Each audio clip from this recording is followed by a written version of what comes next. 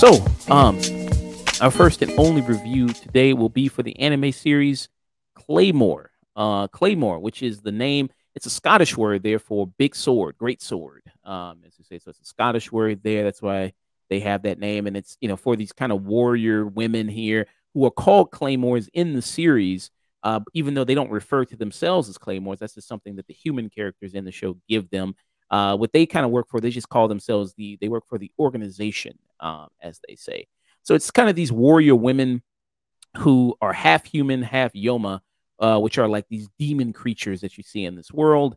Um, they're meant to go ahead and you know kill a lot of these demon creatures, go from town to town. Each of them have their own section of this world where they kind of take care of it, they protect it, um, and they're responsible for going to each town and you know slaying these creatures. And then some are more powerful than the others. You have your garden variety Yoma there that you see in this world, eh, but then also you'll see much stronger demons, which are called uh, awakening uh, kind of creatures there, which are more evolved, advanced, much more stronger there. Um, now, with these kind of warrior women that you see here, each have a name and then also a number to identify their strength level, going from one all the way to 47 uh, that you see. And we have a main character by the name of Claire, who is dead last. She is number 47. Um, and they very much treat the rankings very seriously. You know what I mean? If you're in the single digits, that means like you're a real badass if you're in the single digits there. Um, you know, as opposed to other people there, like if you're in the 30s or 40s, like you're basically treated like a nothing almost. It's like you're pretty weak there. Um, red shirts. Yeah, red shirts basically there. Um, also, a lot of these women, uh, maybe you'll get kind of confused there about maybe the way some of them look. Um, you know what I mean? Because a lot of them sometimes have the same haircut and same kind of style there. Um, you know, but sometimes it kind of helps a lot of the more uh ones that have a lot more dialogue, as you mentioned before. Like, you know, there's some characters like, okay, you can kind of recognize them a little bit. Uh, but yeah, they treat the rankings very seriously there. They each have the, also their kind of own emblem um, as well there, especially with the single digits. They have their own emblems there. Um, and even some are so strong and some so well known uh, that they get their own nickname. You know, uh, Elena the Quick Sword. Um, you know, for their own like special technique that they can use, and the powers that they kind of have are very much like almost like vampire-ish type powers, like very super speed, super strength, uh, endure, you know, uh, durability, uh, things like that. But you also they're not invincible. You do see like there are like when you it comes across a very strong opponent, it can be very dangerous for them. They can die and some of them do die in pretty horrible ways, as this uh, as you see in this series. Um, and if you watch this, uh, you said that it very much was very much inspired by something like Berserk. Uh, there, you definitely kind of see that. Um, you want to touch on that a little bit more, there, uh, Sage? Yeah, I mean, I can, uh, you know, I haven't read the Claymore manga myself yet, uh, which I, I do plan to check it out. But you can see in the pages of the artwork, it has a very, very similar style to Berserk. I don't know how much that translates to the anime's art style, but if you go and look at pages of the comic, you can really, really see kind of the shading and the line work is very reminiscent of Berserk. Yeah.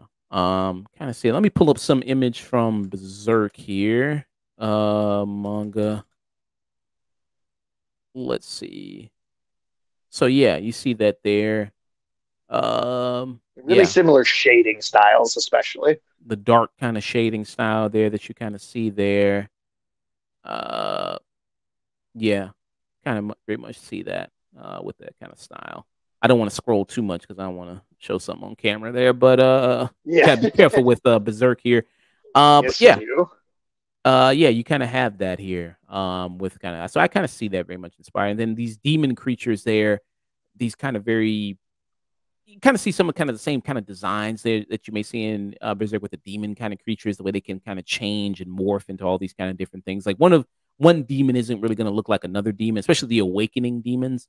Uh, some of the lower level Yoma are kind of going to look like they're going to look like pretty much the same, but when you get to like the other top level people, they're not really going to look the same. They're going to have their own unique abilities. And being half Yoma, um, these claymores do run the risk of fully transforming into a monster. And you see that with one of the main antagonists of the series, a woman by the name of uh, Priscilla here, uh, who went uh, full uh, Yoma, went full into her monster side, uh, which is kind of a lot of these run the risk of because they draw from this. Uh, they call it what is the Yoki energy they draw from there. Yeah, I think that's what they called it. Uh, they draw from that energy uh, that allows them to kind of heal quickly or you know increase their attacks. Uh, but when they do that, they draw the risk of you know not being able to fight back the monster there, um, and they kind of leads them to going full monster. You saw that with the Priscilla character, who was once a former Claymore, who just went full monster and went on a rampage there and killed a lot of other Claymores, especially a Claymore that was very close to a character that we follow our uh, main uh, protagonist here, Claire, a character name of Teresa there, who she killed her. And then that kind of sets Claire off as a young girl on her path to becoming a Claymore and then looking for revenge against the one, uh, one uh, horn demon, as they call the Priscilla character there.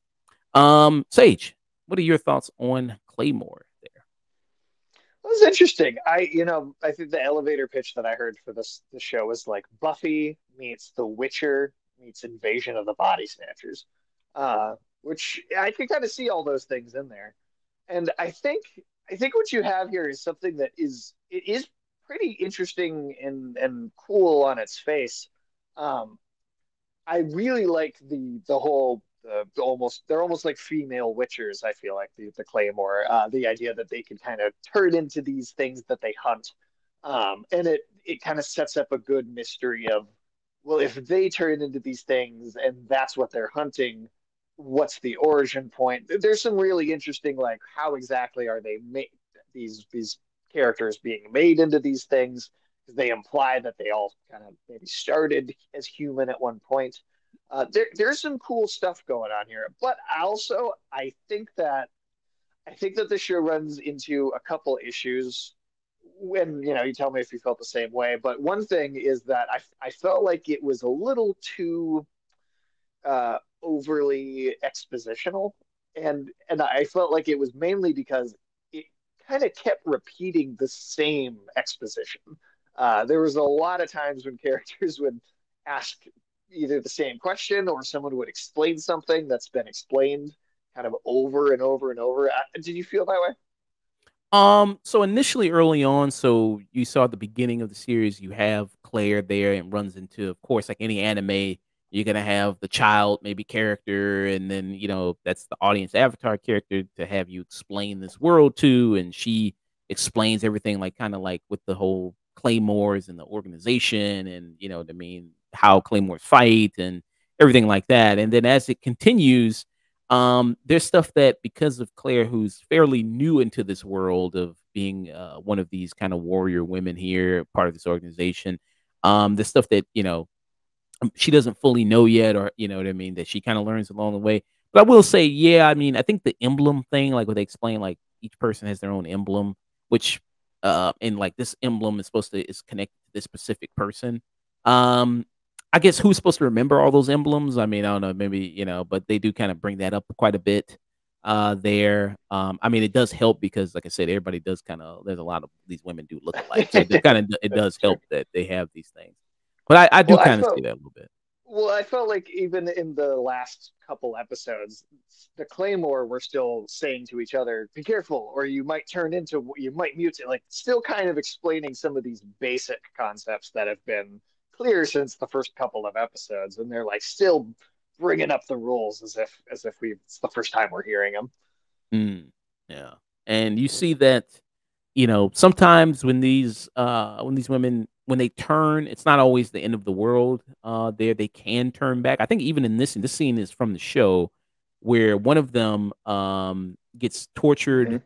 and kidnapped here, um, and they actually, you know, you talk about the origin of them, and then it was this scene uh, where they, yeah, a group of claymores get kidnapped, tortured by this uh, other demon who was a former claymore herself, who went full uh, demon there um, and now kind of just enjoys, you know, converting other claymores into being demons will torture them to the point where they convert there. Um, and you see like each claymore has their own version of their demon form that kind of comes out. Uh, very nice artwork, by the way. Uh, very love the artwork. The, the detail there is really great. Um, I almost think the show doesn't really do it justice how well it kind of looks. There. It doesn't, honestly. Um, but yeah, they they kind of do that there, and they're able to kind of sometimes if they're able to fight it enough, revert back to their human form there, and you see kind of the process you'll see in the show of how they actually make uh, them into the creatures there. It's like someone like cut a, like cut their chest open and then put this kind of thing inside of them and you know stitch them back up. It was like pretty grotesque um, there to look at there. Uh, you know, and there's even a scene there with the character Teresa uh, where she's like, okay, you think you want me? You know, here you go. You know what I mean? Like she shows this big line, you know, scar down her chest there. Um, so you kind of have that. Um, yeah, I don't. I almost think that some of the some of the kind of the animation doesn't even do the artwork justice here. What do you think about some of the animation in the series? I felt like the animation was often just okay. Oh, uh, Sage dropped out there again. Uh, but yeah. Uh, oh, you dropped out. Uh, again again. Can you re- uh, go back to what you said at the beginning? Yeah, uh, I was I was saying um I I think the animation is serviceable. Like I wouldn't look at it and say it's it's it's bad necessarily, but I never felt really wowed by anything in it or or kind of super impressed by any of the visualizations. Whereas when I look at the book and some of those panels, I, I really feel like I mean I'm like wow, that's like unique, and I have not seen that before, and the style is really great. Um, I don't think like I think there's a art style the show has that isn't bad for sure. I think that I think seems to work, but it just doesn't seem to have a lot of fluid motion. Even during fight scenes, it's a lot of like, let me make one kind of movement, and then the camera freezes on it, and then we cut, and then there's like another movement in the next shot, and then let's freeze on that, and you know, kind of a lot of that stuff. Yeah, there's a lot of moments where you'll see like you know traditional like I, I guess this started in samurai movies, I guess, where a character will make a slash, and then it, and the villain will go like, "Oh, you think you got me?" And then he's like, "Oh, wait a second, and he'll split in half or something like that. You know what I mean? He'll start talking, and then all of a sudden he turns into a pizza. Um, you know, so there's that. So there's a lot of that. Um, and this is a big action scene that happens in the show. And a lot of the action in the show is it's okay. It's not some of the best I've seen. Um, you know, when you talk about, you know, kind of uh, maybe it's unfair to compare this because this anime came out in uh let me see when this anime came out. I, I think it's 2007. Yeah, 2007 was the first air date for this. Um, so maybe something like we see action like J- uh, Jujutsu Kaisen, you know, really impressive with a lot of the stuff it does there with the kind of action. Here, it's a lot of like quick movements with the sword and them, you know, doing a lot of stuff and then them, like you said, speeding up, slow down, posing, and then slashing their swords there. It's okay. I mean, look at Spike's combat in 1997 in Cowboy Bebop. That had far more fluid movement. Yeah, they had far more movement there. Um, and then so they, you know, some of the sword battles, like when they're, you can see a little bit of it going on because sometimes they will match up with just the swords, where they'll kind of clang swords. Not that interesting there, I think, when they start going a little bit harder and using powers there. That's when it starts to get more interesting. When they actually do more of a sword battle, it's just kind of like, yeah, it's it's okay. Um, yeah. I would say there. Um, yeah. What did you think about the characters in here? People like Claire, people like Teresa. You know, Teresa was probably my favorite. I actually think my favorite stretch of the show was that flashback arc between episodes like four and eight or four and nine or so um, where we've gone, we go back, we see Claire as a little girl, and we see how she kind of got inducted into being a Claymore, and the Teresa being the Claymore that rescued her when she was a child. And that that whole story arc, I thought that was working really well because let me tell you, the thing that, that I think held this show back the most for me was Rocky. I found that little boy to be so annoying. uh, he just, I it's it was it was just him going Claire, Claire over and over again in situations where either he's obviously just putting himself in the way, but he also I feel like there is not enough time to develop these characters having an attachment to each other before he is in like episode two he's like obsessed with her and I just I never bought into that relationship because I felt like he never had more characterization than just following her around like a like a puppy. Yeah, I mean, he kind of almost you almost forget about him. Uh, because she kind of leaves them behind because she has to do this mission, and then you know, I mean, they kind of get separated. Um, That's part of the show, leaving them behind. you know, where they kind of get separated, and she kind of has to go with another group there to to. I think that's when they do the ferocious eaters there in the mountain. Uh, is where mm-hmm. she kind of leaves them behind, which is another classification of demon there that they end up fighting. They're much more dangerous. Um, yeah, I almost forgot that he was actually there, uh, almost in the show. Uh, and when you, because with that stuff, I mean, you know, Claire kind of goes her training arc there that you see where she kind of learns to become a little bit more stronger. Um, she learns somewhat of the quick sword technique there. Afterwards, there's a string of episodes there where you kind of see what happens there when she kind of goes one thing. But you did, did you like when Rocky was a little bit by himself and he was training and he was learning to use a sword and doing that stuff? No, I, I, really didn't. I just didn't feel like anything was happening with him as a character. Like he practiced his sword a little bit, but there was nothing. Uh, there was just there was nothing to make him him likable to me. He just I don't know. He just had this one-minded. Where's Claire? Where's Claire? I got to make sure I know where Claire is. Where's Claire? What's what's Claire doing? And it just it was it was just that was all he ever was for me. Yeah.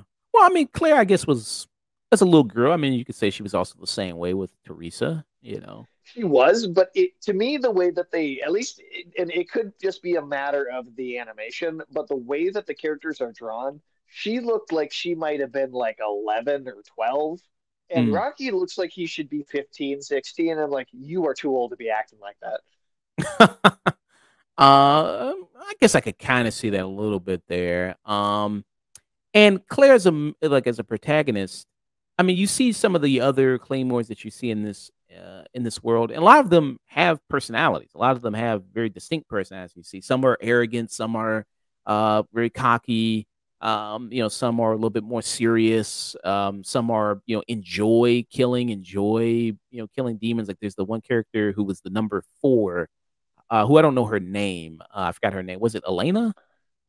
Uh, in the flashback or in the present day? In the present day. The one the she was fighting. I think it was um, Elena. I want right? to say Sophia. Sophia was that the name? Okay. Um, but yeah, so you had that character. No, who, Ophelia. Ophelia. Ophelia. Okay. That was. Uh, yeah, yeah. She was the one with the elf ears, kind of like the elf. Yes. Yeah. Um, there and so you have her who you know she kind of very much enjoys the killing, enjoys slaughtering the demons, the blood, um, all that kind of stuff. Um, and this is the character. Uh, let's see, right here. Yeah, so this is the character, and also a lot of them are very pale, uh, as you can kind of see. They're very much almost very, like vampires. Very much like kind of yeah, vampires there. Um, and she kind of has her or own witchers. Te- witchers. Um, and she has kind of her own technique with her sword, where she can kind of wrap her sword around people and then cut them there with that kind of special technique that she uses. Um, what did you think about Claire? Did you think Claire was a little too dull, a little too boring um, in the show there? Yeah, I, I did kind of feel that she. I, the thing is, is once we got a certain chunk in, like maybe halfway through, I started to see the kind of revenge story of it kind of come out of her a little bit more. And I, I, I felt like she started to kind of once the once she was focusing on that and Rocky wasn't really around at all anymore. I felt like there was a little more personality started to come out, but especially in the first half, I feel like she she feels like a stone wall, and she it's like she's coming up and interacting with quite a few characters in the other Claymore that all have pretty memorable personalities, or at least just feel like they're putting some sort of energy out there, and she she does feel like I don't know. She she does kind of feel like a stone wall sometimes. Yeah. And I mean, it's understandable given her background being a girl that, you know, was held hostage by the Yoma. Because some of these Yoma can infiltrate a lot of these towns and then kill these people there and then take human form. Um, and uh, so, yeah, sometimes you don't even know who's there. You just know that there are a lot of dead bodies showing up and they need Claymores to investigate this because they can actually sense who's a Yoma and who's not one, and because of the aura um, of the creatures there. So she did have that kind of background where her whole family was killed by uh, the Yoma, and then you know Teresa ended up saving her. Um, so that adds to that, I guess. And then she did watch Teresa be killed in front of her, and then head cut off, and all that. Um, so that could add to it. That, that definitely that background um, to things. But it was a little rough. I think she gets a little bit better as the show kind of continues on because she it's a little bit of more of the revenge stuff, and then she's driven by that, um, and and driven by nature to to kill Priscilla, which gives her a little bit more personality. I think if we'd killed Rocky off in the first episode, you would have started seeing that sooner. Yeah, but who else would we? I mean, we need somebody to explain things to. You know what I mean? Explain the whole world of the Claymores there. Well, if she's supposed to be the weakest and relatively new, then she just gets six. Eh, she could just have it explained to her by other Claymore that she comes across. I don't know. I, I, I or the townspeople as she goes on each job. Yeah, like townspeople like talking to each other. Like, yeah, you know, yeah. I mean, what you do kind of have that a little bit in the first, with townspeople kind of going back and forth and talking to each other. It's like, yeah, you know. Um, yeah. And then there's some kind of these claymores that also are kind of uh, they can be awakened but still be in their human form. They can still draw that power there that kind of makes them a little bit different there. Um, I feel like the show does a lot of heavy foreshadowing with as much with Claire of like, you know, you're special, you're unique, you're different, you're, you know, this, you're that. It's like, okay, I mean, I get it, they're the main character of the show. I mean, you don't have to do, do, that much of it uh there. It's kind of implied already, right? Yeah, it's it's kind of implied already. Um, and there's also, I mean, I, I, this is just kind of maybe just a TV thing, I don't know, but just also the last minute saves of like the character is just about to die, the villain's just about to take it, and then somebody else comes out. I think that happens three or three, two or three times in the show there, where she's just about to, where she's just about to die, and then somebody comes to rescue her. How'd you feel about moments like that? I think it's fine to do it once or twice, but once you start going three, four within a single season of TV, it's definitely too much. Yeah, and this has 26 episodes. Uh, this does so they never uh, end up have a proper ending for this. Um, they never did the kind of the more of the proper adaptation there from the from the monk. They they rush kind of a boss fight in a volcano at the end, but it doesn't really wrap up like story. Really, it's just like an action scene with the biggest monster. Uh, I know that the the show is pretty, at least relatively faithful to the book for uh, for about twenty three episodes, and then those last three are just like completely not what happens in the book at all. Yeah. Um. I mean, I I would like to see them kind of have a little bit more of a proper ending to you know what I mean for them to do that and wrap it up better. Um. Because I mean, as an anime, I mean, what were kind of your thoughts on this? You know, you know, watching a lot more anime now for this and doing these reviews. What are kind of some of your thoughts there with Claymore of like some of the other animes you reviewed for this show? Well, you know, I think a lot of the stuff that we've reviewed on the show has been things that have been either original works, very faithful to their books, and often either finished products or kind of ongoing stuff.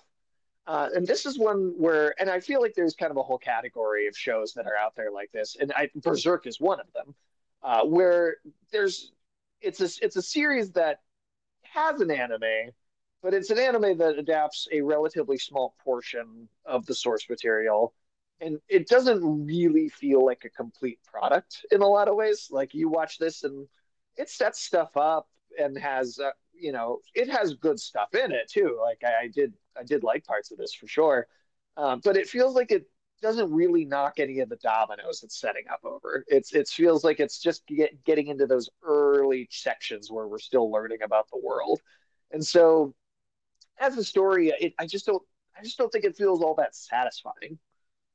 Mm. They set up some interesting stuff, um, and you know some of it kind of gets a payoff. They do some stuff with you know the organization you know maybe something's rotten with the organization like you speak about you know these creatures of the yoma where did they come from? Especially also these more powerful people you know the awakened creatures like we mentioned the one you know i saw i played a clip of this with the young girl that, that used to be a former claymore that succumbed more to the the demon side there now it's this ultra powerful you know abysmal abysmal one um as they call it you know this creature seems very incredibly powerful. Um so, you know, and there's also a male uh, awakenings there. At one point, they only thought that females could be the awake because obviously females were the only claymores. But at one point, you learn that maybe they had like male claymores and they gave up on that and they went to female. Um, and because they always mutated like right away, like they couldn't like stay in the like in between form or whatever. Yeah. Um. So you did have that. So that was kind of more of like, and then also the person, you know, Claymores, they kind of get these also these missions to go on, you know, and then you have a person who does that, who kind of this kind of creepy guy in glasses and kind of looks like uh uh what's that person's name from the Addams family? Uh, uh the one with the light bulb. Uncle Fester. Uncle Fester, yeah, coming in with the fedora and black and the glasses and everything like that. Uh, who gives them even special missions there that you see.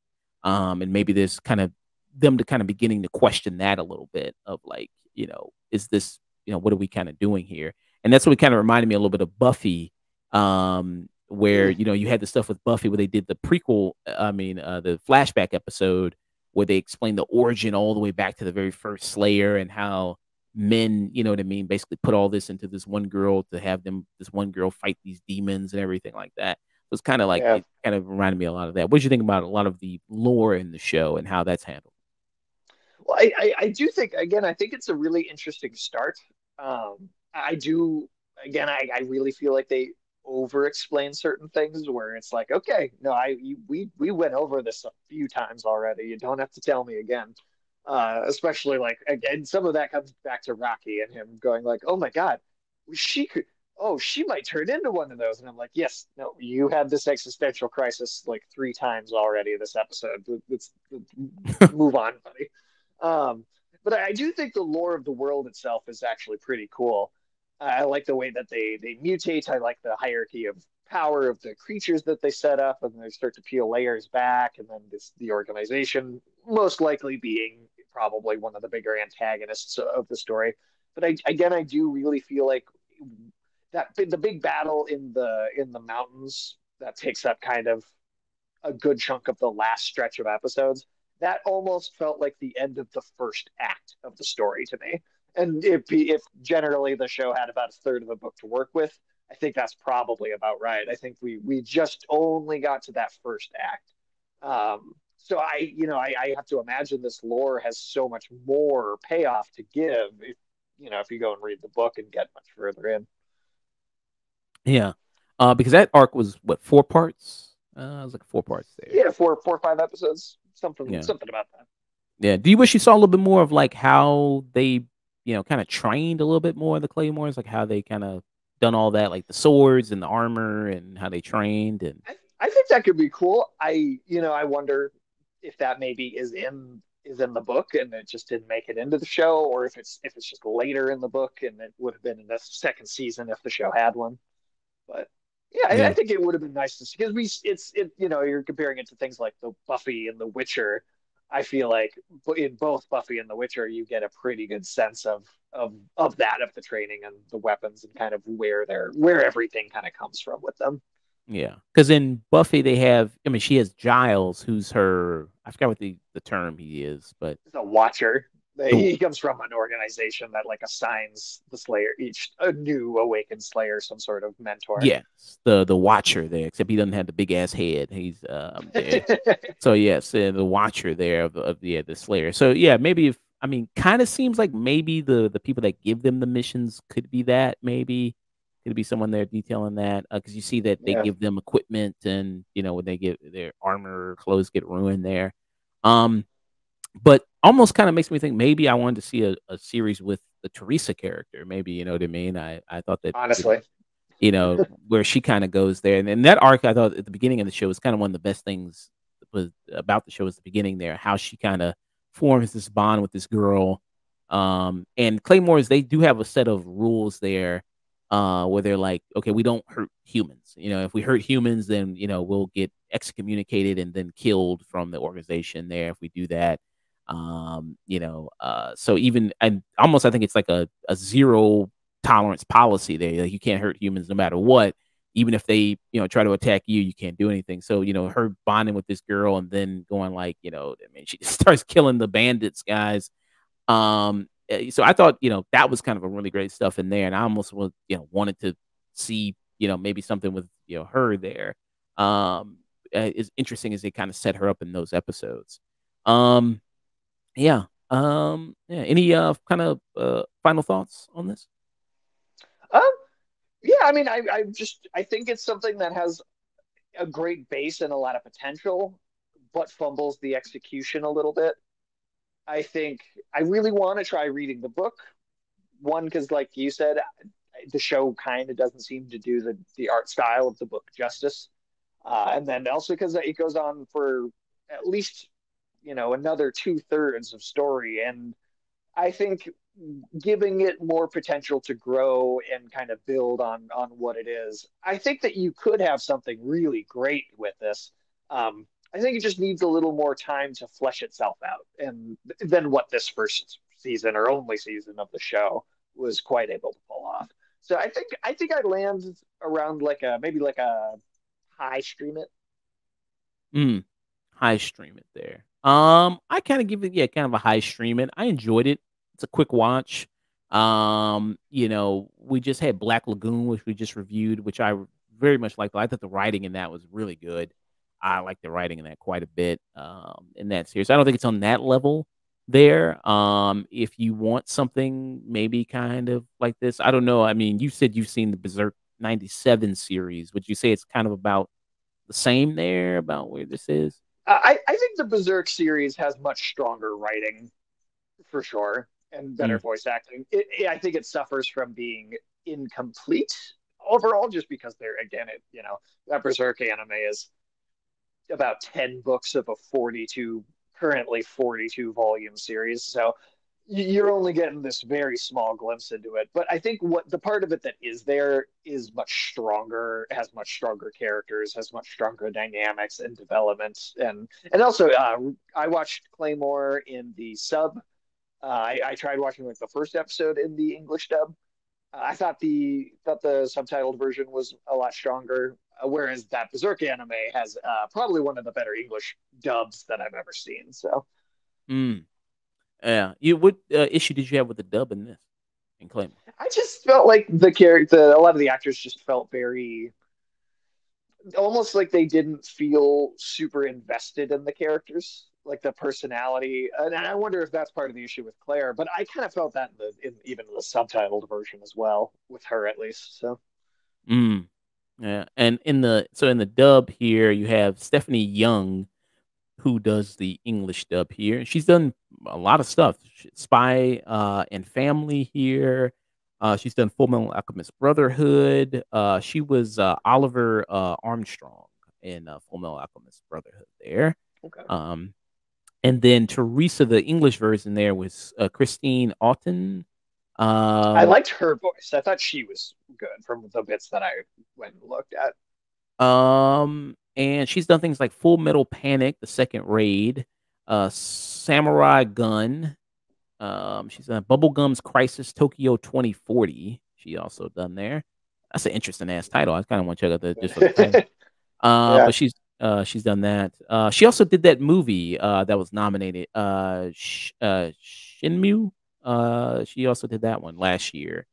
Uh, that's animated television. Wasn't that turned into a movie that got nominated there for at the Crunchyroll, Anime Awards? I I don't remember that one. oh no, I, you're probably right, but I think I'm thinking about something else. Maybe I'm thinking about okay. something else there. Oh, uh, that bubblegum. Uh, not to go on a tangent, but that bubblegum. How old is that? When is that from? Uh, it says here. So the this is the manga here. Uh, do, do, do, do. It says it came out in so original run was 1998 to 1999. Okay, so that is what I'm thinking of. The uh the Tumbler Batmobile design is taken from that comic. Oh, uh, the Dark Knight tank design is is is based on that uh, manga. Oh, I think you remember. I remember you telling me that. Yeah. So, oh, the anime series was uh from 1998 to 1999. There. Um. So this is it right here. This is the, weird little coincidence. the bubblegum, yeah, Tokyo here. Okay, what you have here. Uh, but yeah, um, so yeah, I would kind of give it a stream in there for Claymore. Um, the action scenes are fine. Uh, nothing really too earth shattering. I think the definitely the brutality is there, and you definitely feel that with these characters. I think they set up the power levels really well here uh, with these characters. That even though they do feel very powerful, they also can be very very weak with even a new opponent kind of coming up here. These awakened kind of demons, which I thought was good. There's always a big threat there that they have to face there. Um, and there's even a point where all you know, even two, three, four claymores can even take on one of these things. Uh, that they need to join together and work together as a team to take these down a lot, which I thought was very good there. Um, I just think some of the parts are kind of weak with some of the and with Claire and then Raki, you know, there of I don't know. I think the bond that they have is so super close, so really quickly. I mean, over the course of like only a few episodes, they're already like it, it, that just made me hate him more. you know, they're like inseparable after like a couple of episodes. You know what I mean? I mean, and also, I mean, it's rare that we ever see a lone wolf and cub story with a woman and a little boy. So usually the reverse, where it's the older man and then the little girl. Usually we see that like Logan or Last of Us or you know something yep. like that that we see. Um, so that was kind of a different show. I've never seen. I haven't really seen it too much where it's like a you know a, a woman and then a, uh, a boy there. Um, yeah, yeah. So I'm glad I checked it out. I'm glad I saw it there. Um, you know, it was something new. I haven't heard about the Claymore series before this, before it won uh, our poll. And people can vote in our poll there. If you go to twitter.com, type in uh, afternoon tune, uh, people will be able to vote in our poll of what we should be reviewing next.